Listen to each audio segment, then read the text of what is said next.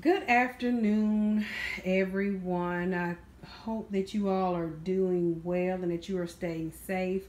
Um, I know I haven't been on here and it seems like forever.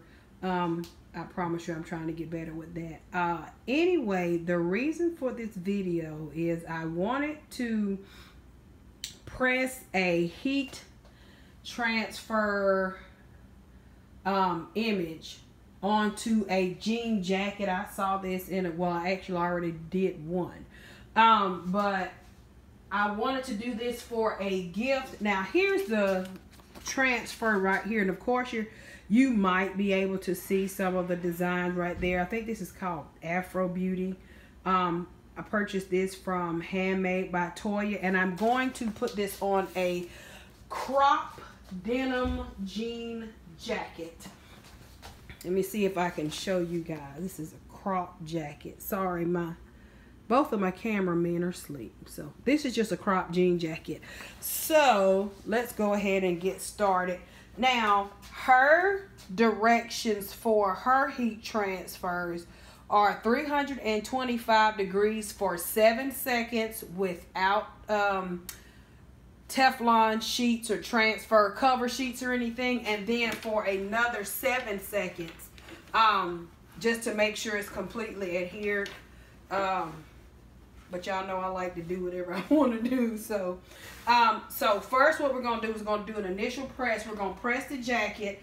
Basically what I'm doing is getting any wrinkles out of the jacket because you don't want any wrinkles um, under the image and then to remove like any type of moisture or whatever that may be um, in the jacket and, and just about every tutorial every video I've ever watched that's what they say to do you know to number one remove the wrinkles and then number two to remove any type of moisture that will be in there to kind of keep it from um, adhering.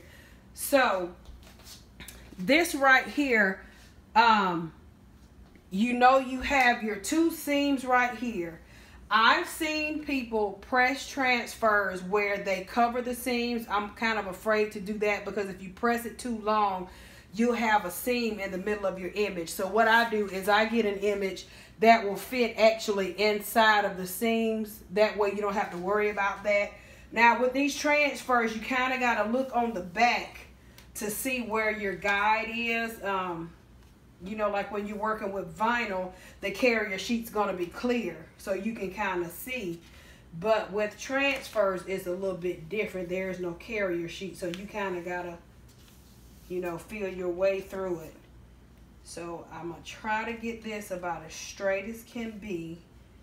Now my heat trans, my, um, I'm sorry, my heat press is on 323 degrees. I press mine a little bit longer just to make sure they stick.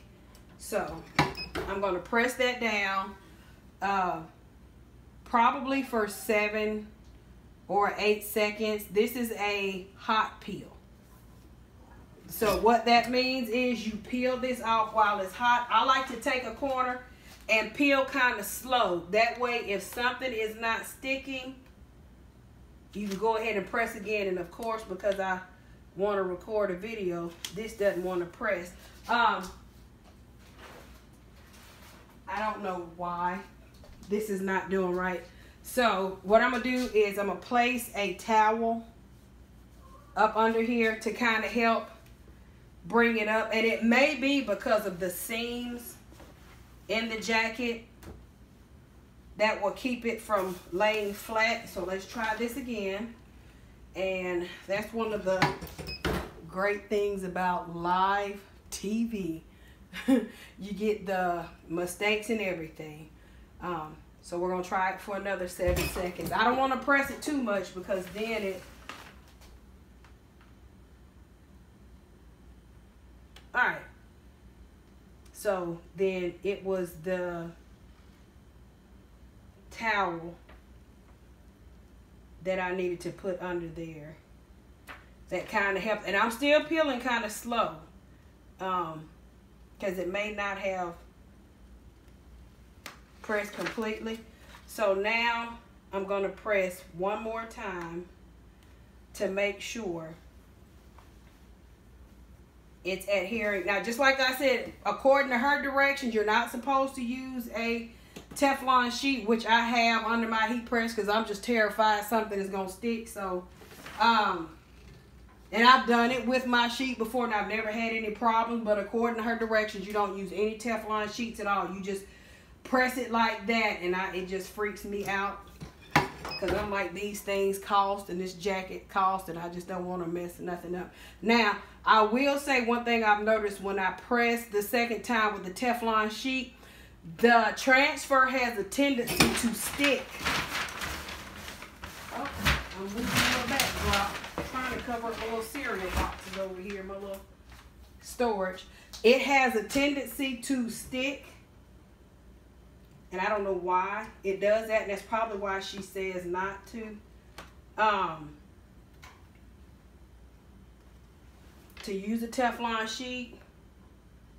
But here we go. Let me swing this around over here so you can get a better view of that jacket. So here we go. I hope you guys can see.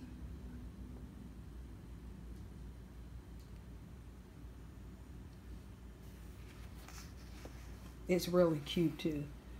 So yeah, this is just something that I wanted to do as a gift uh, for a sweet little girl. Um, just to kind of to spruce the jacket up a little bit to keep it from being so plain. Um, so yeah, thank you guys so much for supporting my channel. Thank you guys for watching my videos. Thank you guys for all of your wonderful comments. I do read the comments um, because I do get notifications. So Thank you guys so much. Uh, if you found this video helpful, give it a huge thumbs up. If you have not already subscribed to my channel, go ahead and subscribe. Um, if you like it, leave comments and anything that you may suggest that I do, go ahead and drop that in the comment box. But you guys continue to stay safe, be blessed, and I will be back with another video soon. Thank you. Bye.